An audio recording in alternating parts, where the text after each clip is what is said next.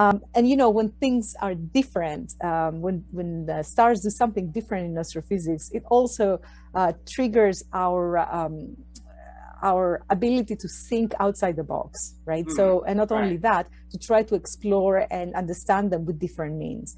As technology evolves, we have different kind of instruments in our hands, different kind of telescopes, and with that, when we uh, manage to get enough enough photons on our instruments, we may actually weave a story about at least the recent behavior of those stars uh, that um, is much more elegant, much more beautiful than saying that, oh, something dimmed. We can, we can put in details in there. And within those details, we can uh, put it in the big picture of stellar evolution and try to make some assumptions of how they end.